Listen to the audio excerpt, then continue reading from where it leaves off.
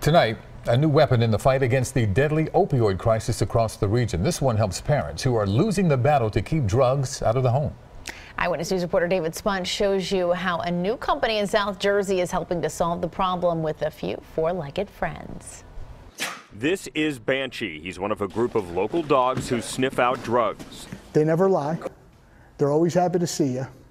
And they work for real cheap. Banshee is not with the police department or any law enforcement agency. He works for a private company, 3DK-9, based in Marlton. That's it. Mark Chmielewski is the managing partner. They go to work. His canines go into drug rehab centers, prisons, and yes, the most unsuspecting residential homes to look for drugs. Our dogs are trained to find source.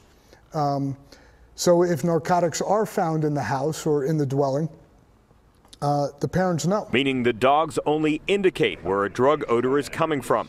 Mark told me it's not the responsibility of his company to actually see, touch, or even report the drugs to law enforcement. It's his job to give his customers options. We're offering a different service.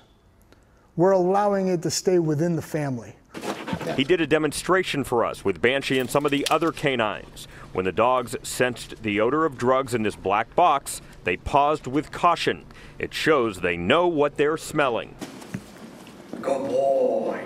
Remember, the dogs won't actually pull out drugs, just point clients in the right direction.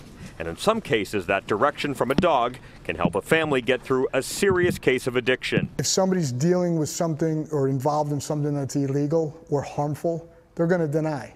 That's what people do. They deny, deny, deny. This allows them to bring the truth right out. In Marlton, New Jersey, David Spunt, CBS 3 Eyewitness News.